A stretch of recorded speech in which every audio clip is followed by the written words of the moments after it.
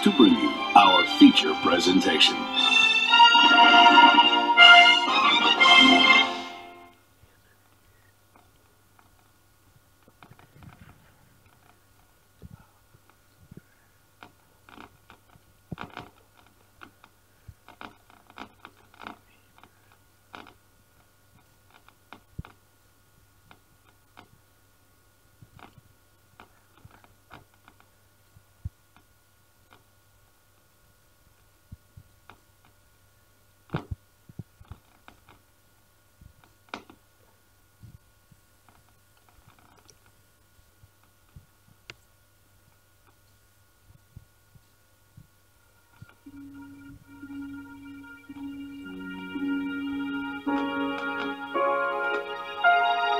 Música